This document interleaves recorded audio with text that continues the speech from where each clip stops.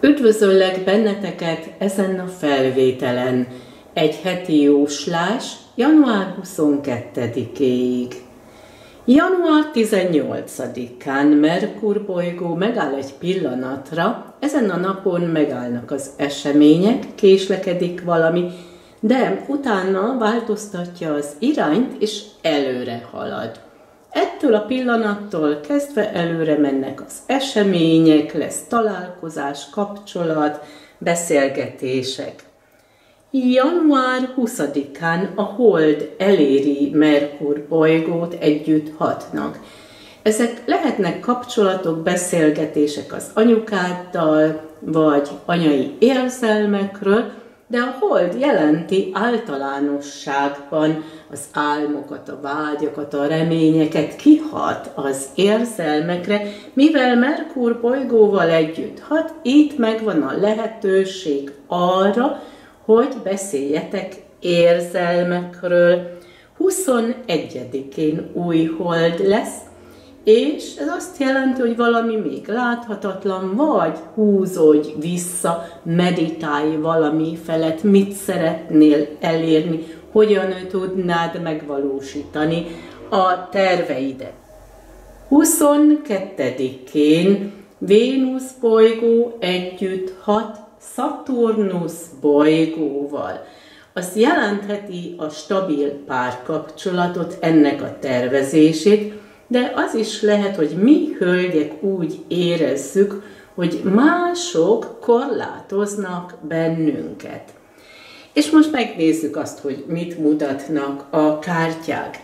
Itt ez a ház jelentheti a te otthonodat, az ő otthonát, vagy egy közös otthon tervezését, jelentheti a szomszédokat, a szülői házat, a családi kapcsolatokat, itt kitisztul valami. De azt is jelentheti, hogy megtisztítasz valamit otthon. A gyermek jelentheti a gyermekeket, mint például egy látogatást, de ez a kislány utalhat egy új kezdetre is. Valami változik a környezetedben, ez szerencsét hoz. Itt kitisztul valami. Láthatóak az egerek itt a sarokban. És a kártyavetésnél úgy szoktuk mondani, ott, ahol az egerek megjelennek, felfalnak valamit, és akkor az már nincs ott. Mivel a medve jelenti az erőt, és az egerek ebből valamit eltávolítanak, az lehet, hogy majd fáradtnak érzed magad, vagy kimerült vagy. Itt a kígyó jelentheti a változásokat, a megújulásokat, vagy a gyógyító erőt, de lehet egy hölgy is.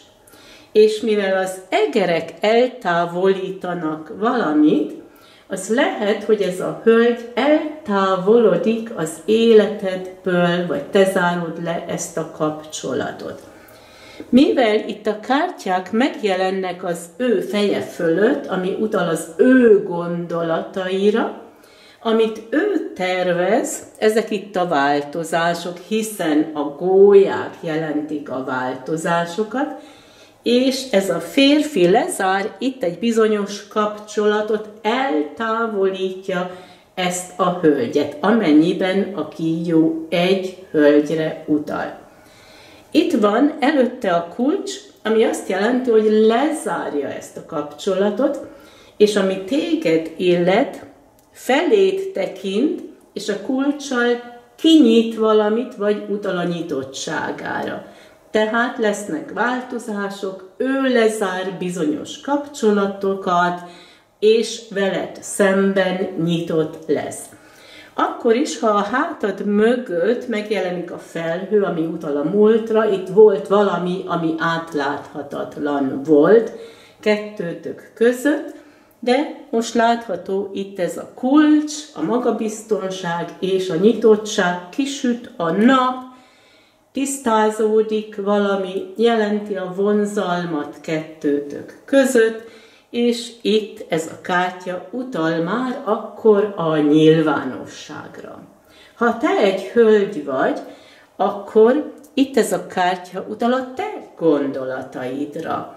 Itt a négy levelű lóhere szerencsét hoz, tehát megvannak ezek a jó tervek, ezek a pozitív gondolatok, és itt látható a kereszt. Ez utalhat a hitedre. De jelentheti azt is, hogy a sors utatok újra kereszteződik, tehát lesz egy találkozás, vagy jelentheti a döntéseket is, hiszen tervezel valamit, elérkezel a sors utadon ehhez a kereszteződéshez, és elgondolkodsz azon, hogyan tovább, milyen irányba. Ebben az esetben ez a kígyó jelenthet mellékutakat is. Mindez szerencsét hoz, sőt, megjelenik itt a virágcsokor, az jelent jó dolgokat, egy jó hírt, egy kellemes meglepetést, meghívást vagy ajándékot, de utalhat a te kreatív tevékenységedre is, vagy jelentheti a te nőiességedet, a te szépségedet, vagy hogy te megszépítesz valamit a környezetedben, és lehet ez az otthonod.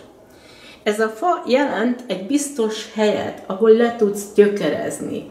Ez lehet egy költözködés is.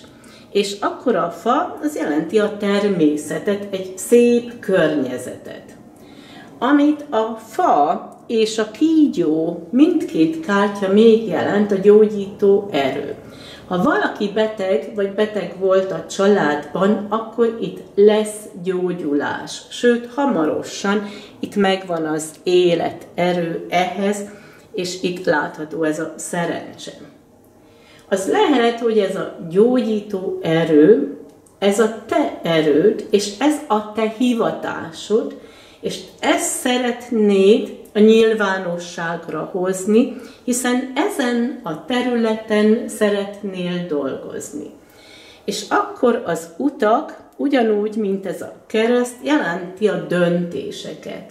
Milyen irányba tekints, milyen változások lesznek a munkádat, a hivatásodat illetően. De nem csak ezen a területen látható ez a változás, hanem ami az otthonodat, a családi kapcsolatokat illeti, itt tisztázódik valami, erre utal ez a virág és a nap is. A felhő elhúzódik, és ami téged és őt illet, tehát a párkapcsolatot, itt megvan a biztonság érzete, itt vannak a változások, ő felét tekint, te felé tekintesz, és itt meg lesz a találkozás, meg lesz ez a közeledés, sőt, még az is lehet, hogy itt lesz egy új közös otthon. És én kívánok neked egy szép napot, nagyon sok szeretettel, Dendera!